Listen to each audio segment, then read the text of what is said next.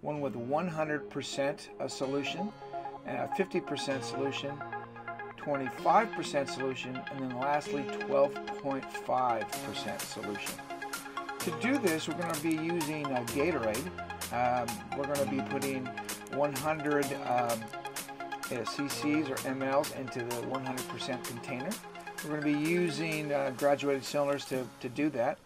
To start with, I'm going to go ahead and put 100 mLs of Gatorade in the container. And we're going to go ahead and just pour that into our um, a vial or a flask, or in this case, just a cup. 100 mLs will go into 100% solution. Make sure we get all of that out of there. And then what we're going to be doing um, is we're going to be taking a 50% of each of, of those. We're going to first of all put that water in each one of those cups at 50 uh, mLs. So to start off with that, I'm going to put 50 mLs uh, right in there. And then I'm going to just check to make sure that it's right up to the level that it needs to be. And once I'm satisfied with that, I'm going to set it off to the side and we're going to then uh, take another 50 mLs and put, put in the 25% cup and keep on checking it to make sure it's accurate. And then lastly, in the 12.5% uh, cup, we're going to be putting 50 mLs as well.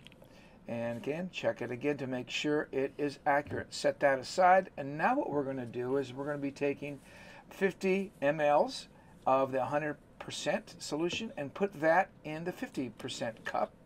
And again, using a graduated cylinder, carefully measure it out so you get exactly 50 mLs. Checking that is, is kind of critical for that. So we're just going to go ahead and pour that 50 mLs into the already 50 mLs container. Um, and that'll make a, a dilution of 50%. Uh, I'm going to give it a little shake there to make sure we get uh, um, uh, good dilution. And now we're going to take 50% or 50 mLs of the 50% solution. And I'm going to put it in the graduated cylinder. Once I've done that, and make sure that again it is accurate. That's why you set it on the table, and then we'll just pour it straight into the 25%, making it 25% solution of Gatorade or of salt. And then once we have that done, we're going to take 50 mLs of that, and then pour that in the 12.5% cup. So again, carefully measuring 50 mLs. As we do that, we're going to go ahead and give it uh, a little swish, and then we're going to put it in the 12.5% uh, cup, which now has 12.5% solution of salt. Um, we should have 50, excuse me, 100, 50, 25, and 12.5%.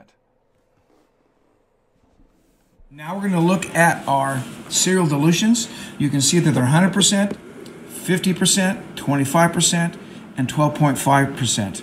All of those, starting from 100 down, is basically 50% of the salt concentration uh, that we have in the sports drink. First, before we start our first run, we want to make sure that, that that's nice and clean by just squirting that down into 100% concentration.